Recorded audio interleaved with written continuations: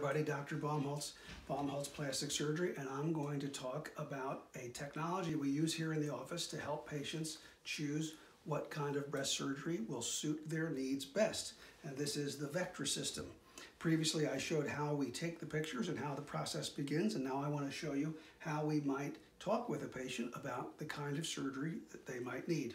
This is a sample patient provided by the company, not a real person, but a computer generated image. And I'm just going to show you some of the things that this technology has to offer. What we've done is we've done an analysis already, and I'm going to show someone what they might look like